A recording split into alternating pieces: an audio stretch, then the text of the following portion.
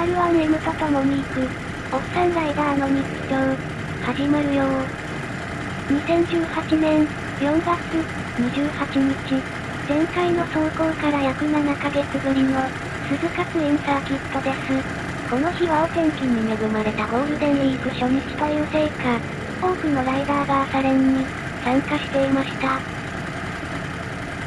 本日は、亀クラスを3本走行したのですが、久しぶりのサーキット走行ということで、2本走っただけでほぼ体力がゼロになってしまい、3本目は早々に切り上げてしまいました。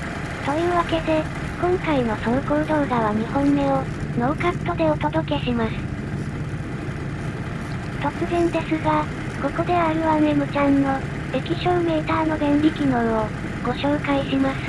R1M ちゃんの液晶メーターには2つのモードがあります。今、画面に映っているのは、トラックモード、です。回転数の表示は8000回転以上を、表示、ラップタイムと、ギアを大きく表示、ラップタイムの下には、速度計とベストラップが表示されています。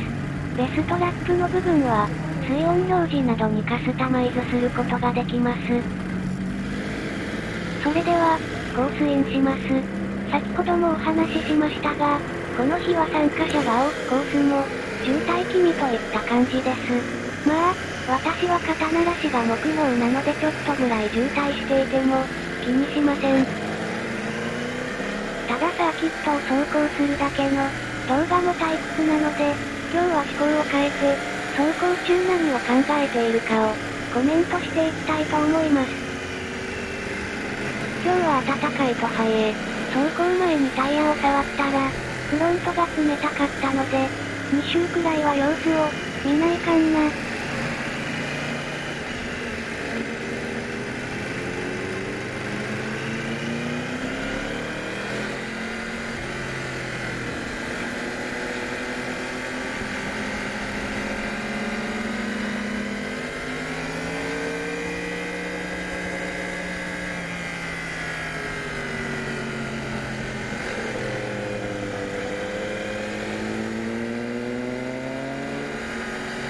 はやぶさ発見。はやぶさには過去、筋トレでの苦い思い出があります。今でもはやぶさを見ると、フラッシュバックが起きるので、申し訳ありませんが全身全霊をもって、抜かせていただきます。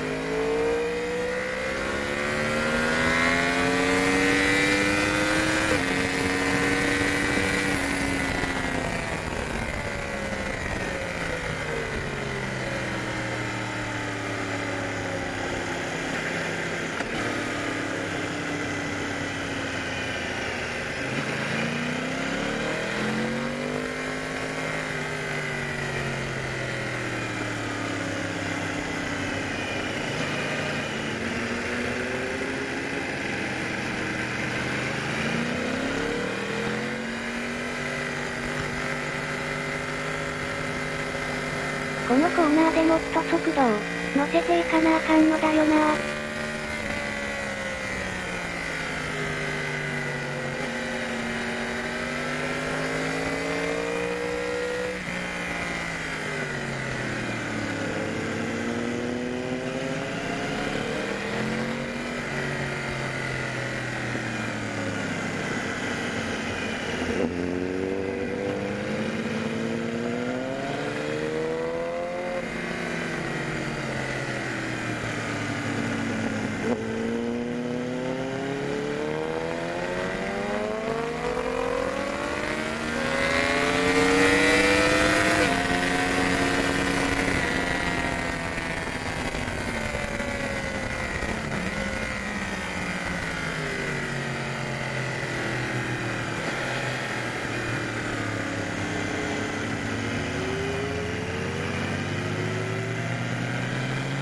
お、R1 発見。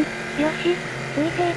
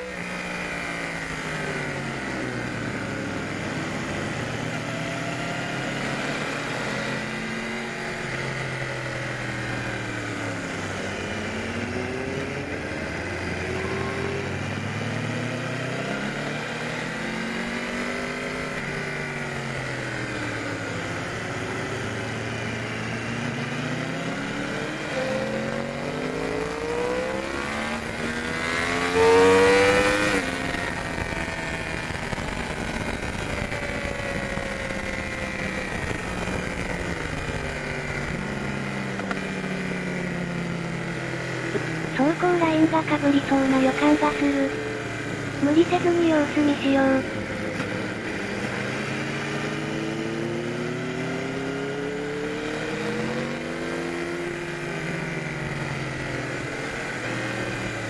あわわわ。ラインめちゃくちゃになってもうた。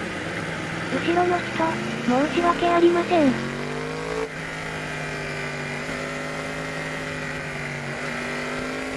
やっぱり、コーナーで抜くのは俺には早すぎるのか。腫瘍が足りんなぁ。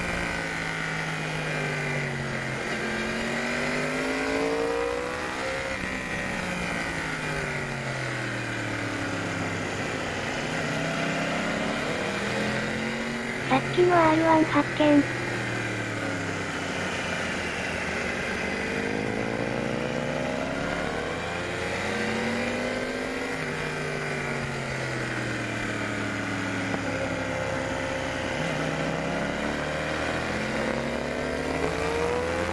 待て、逃がさせんぜ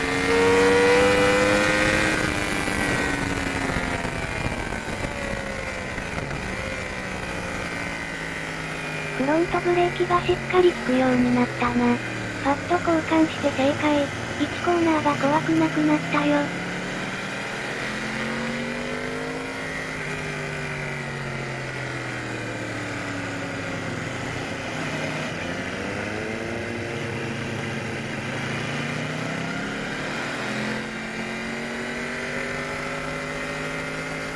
この人、膝吸ってるな。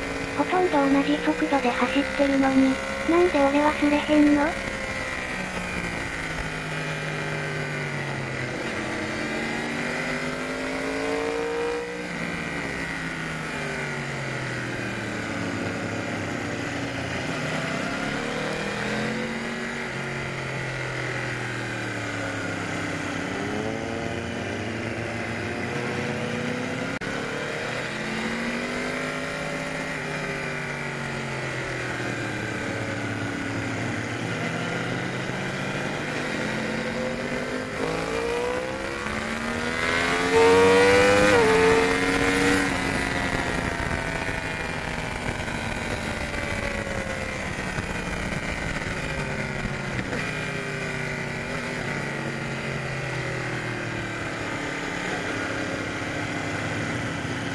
とりあえず、ラインをトレースしよう。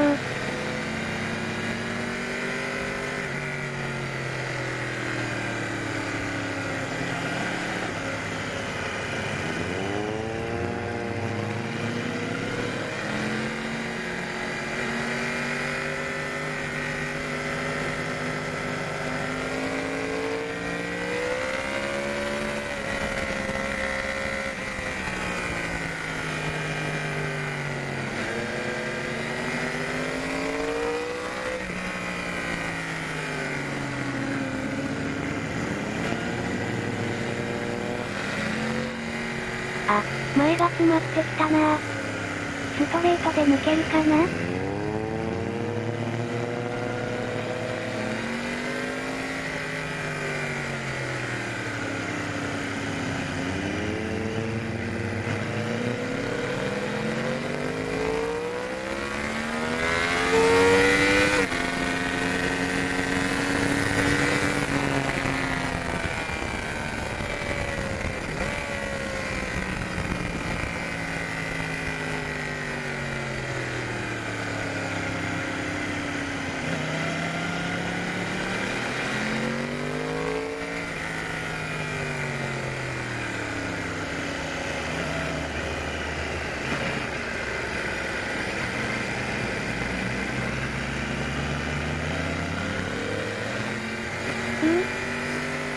パスするの苦手なんだけど。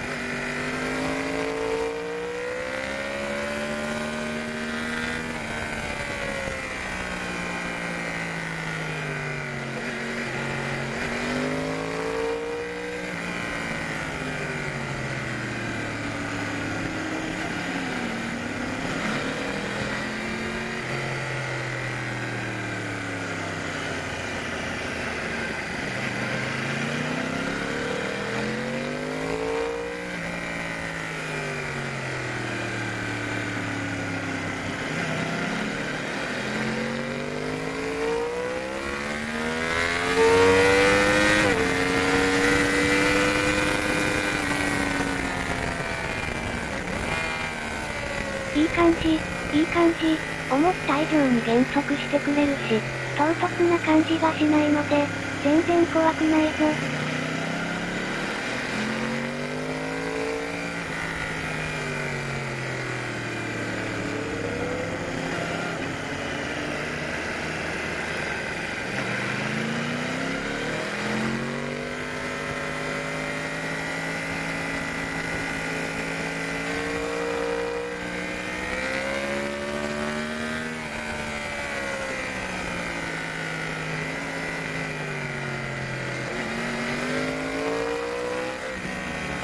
コーナーと、レイクサイドコーナーも怖く、なくなってきた。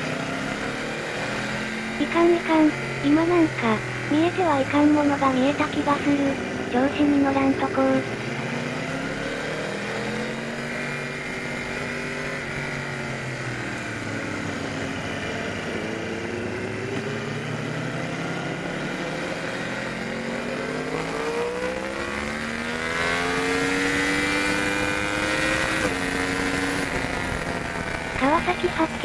これは手があるかな？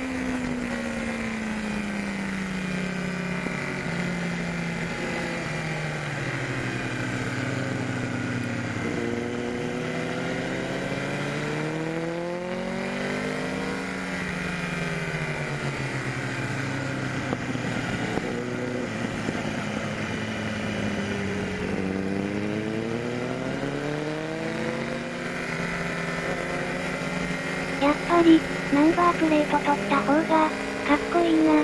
サーキットでは取ろうかな。だけど自走だから、うっかり外したまま帰りかねんからな。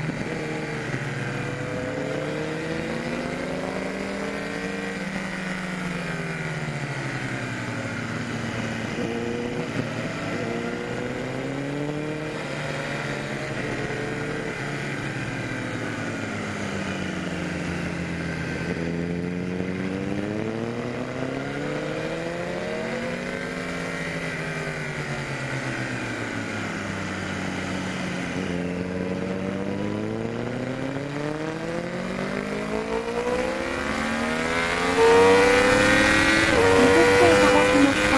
ありがとうございます。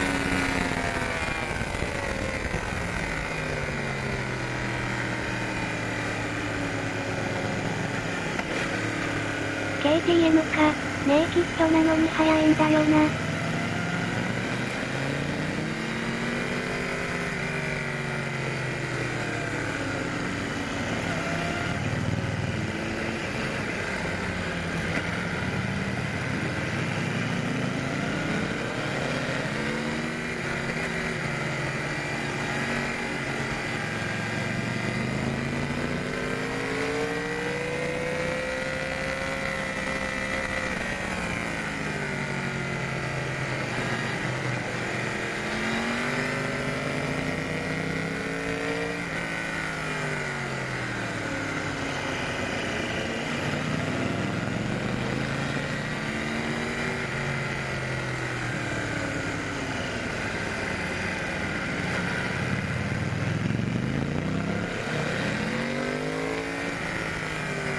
それでは、失礼してストレートでパスさせてもらいますかね。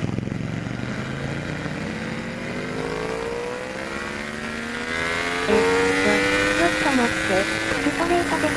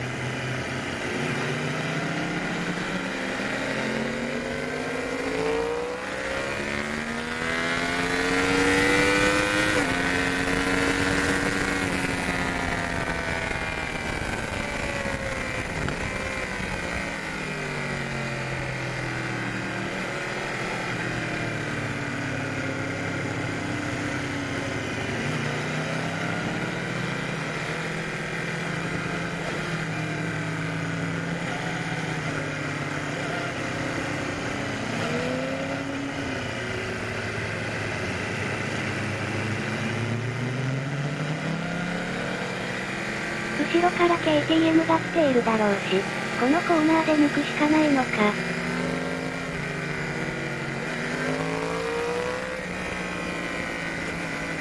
今のは割と綺麗に抜けたかも。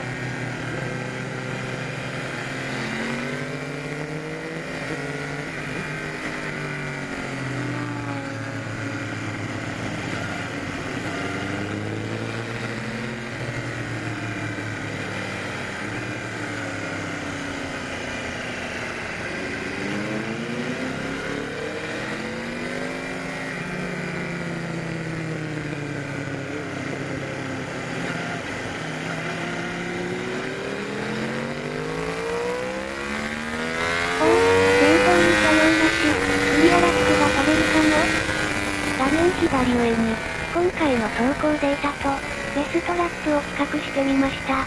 赤色のピンが、この映像の位置情報です。青色のピンは、私のベストラップです。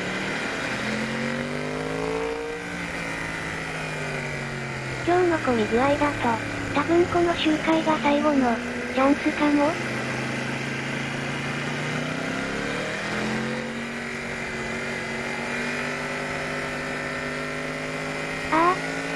抜かれる。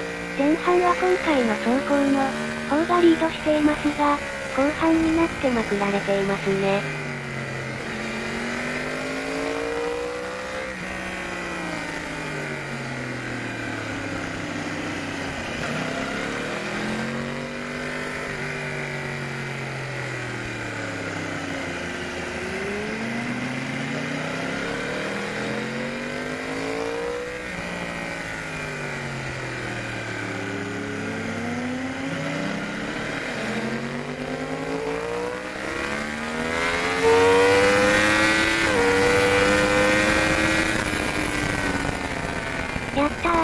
14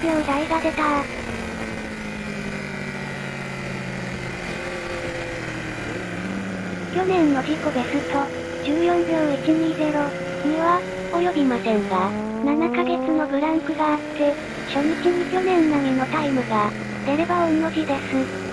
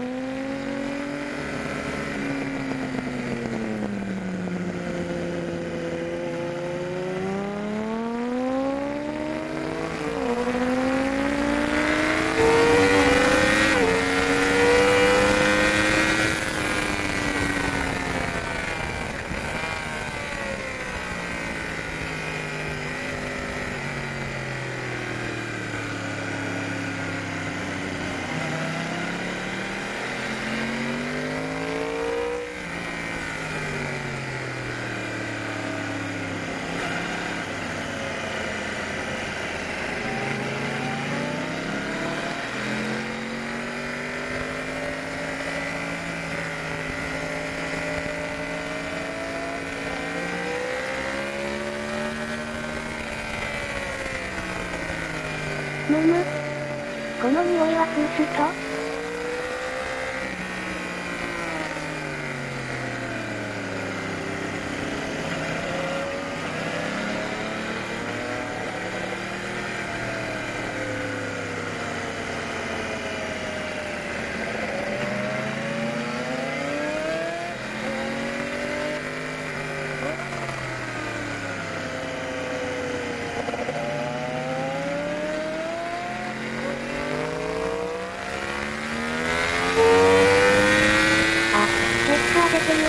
結局、膝すれんかったな。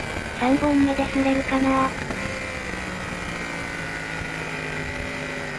結局、今日も膝すり派できませんでした。いつになったら、膝すりできるんだろう？タイムも14秒台が出せるようになったので、そろそろ亀クラスからウサギクラスに移動しようかと思います。ただ、ウサギクラスって10美容近辺の方々が多くいて、ちょっと怖いんですよね。もう少し、亀クラスで練習するか、ウサギクラスで揉まれるか。いや、筋トレって手もあるな。あれなら、ロークラスを走ってればそれほど、迷惑にならんし、何より空いてるし。それではまた、次の動画でお会いしましょう。バイバーイ。